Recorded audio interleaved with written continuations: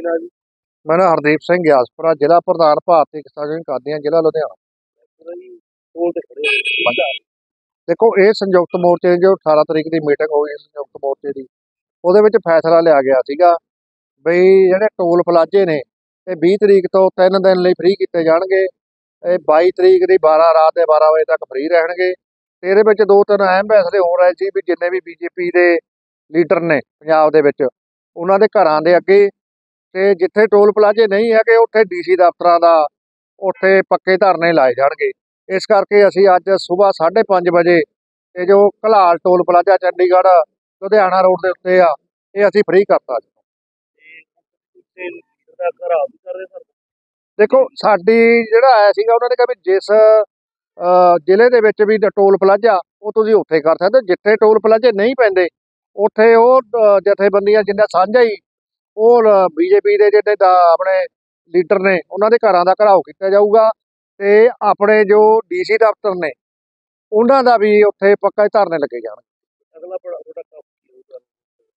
ਦੇਖੋ ਜੀ ਹੁਣ ਮੇਰੇ ਖਿਆਲ ਦੇ ਵਿੱਚ ਕੱਲ ਨੂੰ ਮੀਟਿੰਗ ਆ ਫੇਰ ਦੁਬਾਰਾ ਉਹਦੇ ਵਿੱਚ ਉਹ ਦਿੱਲੀ ਇਹਨਾਂ ਦੀ ਸੰਯੁਕਤ ਮੋਰਚੇ ਦੀ ਮੀਟਿੰਗ ਆ ਪੂਰੀ ਸਾਰੇ ਜਥੇਬੰਦੀਆਂ ਦੀ ਭਾਰਤ ਦੀਆਂ ਦੀ ਉਹਦੇ ਵਿੱਚ ਕੁਝ ਵੱਡੇ ਫੈਸਲੇ ਲਏ ਜਾਣਗੇ ਜਿਵੇਂ ਤੁਸੀਂ ਉਰੇ ਬੈਠੇ ਹੋ ਤੇ ਕੁਝ ਜਿੱਥੇ ਬਦੇ ਦਿੱਲੀ ਬੈਠੀਆਂ ਨੇ ਤੁਹਾਡਾ ਆਪਸ ਵਿੱਚ ਤਾਲਮਾਲ ਤਾਲਮੇਲ ਕਿਸ ਤਰ੍ਹਾਂ ਦੇਖੋ ਉਹਨਾਂ ਦੀ ਆਪਣੀ ਵੱਖਰੀ ਕੌਲ ਸੀਗੀ ਪਰ ਉਹ ਸਾਡੇ ਭਰਾ ਨੇ ਅਸੀਂ ਉਹਨਾਂ ਦੇ ਪਿੱਛੇ ਖੜੇ ਆ। ਜੇ ਉਹ ਸਾਨੂੰ ਕੋਈ ਮੈਸੇਜ ਲਾਉਣਗੇ ਅਸੀਂ ਉਹਨਾਂ ਦੇ ਨਾਲ ਉਹਨਾਂ ਦੀ ਮਦਦ ਕਰਨ ਤਿਆਰ ਆ। ਤੁਹਾਡਾ ਦਿੱਲੀ ਨਾ ਜਾਣ ਦਾ ਕਾਰਨ? ਦੇਖੋ ਸਾਡਾ ਕਾਰਨ ਨਾ ਜਾਣ ਦਾ ਇਹੀ ਸੀਗਾ ਬਈ ਕਾ- ਜੇ ਕਹਿ ਦਈਏ ਵੀ ਇਹਨਾਂ ਨੇ ਪਹਿਲਾਂ ਕਾਲ ਦੇ ਚੁੱਕੇ ਆ ਕਿਉਂਕਿ ਅਸੀਂ ਜਦੋਂ ਪਹਿਲਾਂ ਸੀਗਾ ਦਿੱਤੀ ਸੀ ਕਾਲ ਪਿਛਲੀ ਜਿਹੜੀ 2020 ਦੇ ਵਿੱਚ ਸਾਰੀ ਜਥੇਬੰਦੀਆਂ ਇਕੱਠੀਆਂ ਸੀ।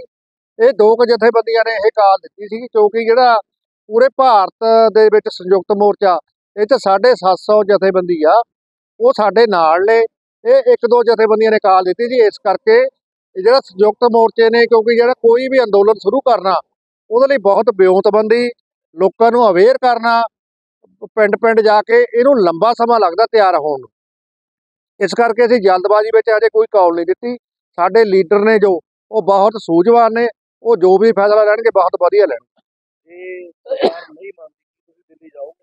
ਦੇਖੋ ਜੇ ਸਾਡੀ ਇੱਕ ਗੱਲ ਆ ਵੀ ਕੱਲ ਸਰਦਾਰ ਬਲਵੀਰ ਸਿੰਘ ਰਾਜੇਵਾਲ ਜੀ ਦਾ ਵੀ ਬਿਆਨ ਆ ਦੇ ਅਖਬਾਰ ਦੇ ਵਿੱਚ ਬਈ ਜੇ ਸਰਕਾਰ ਐਮਐਸਪੀ ਸਾਨੂੰ ਨਹੀਂ ਦਿੰਦੀ ਤਾਂ ਅਸੀਂ ਦਿੱਲੀ ਜਾਵਾਂਗੇ ਜੀ।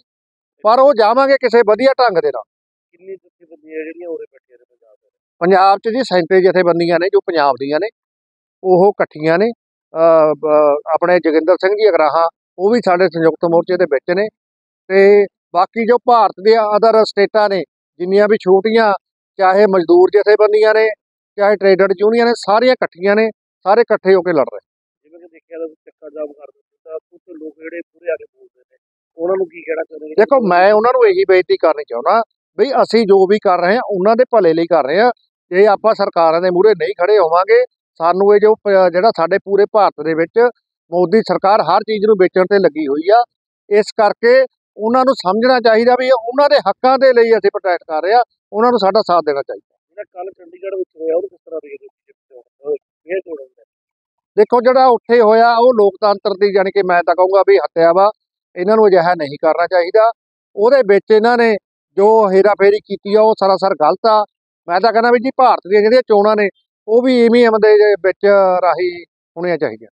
Ballot paper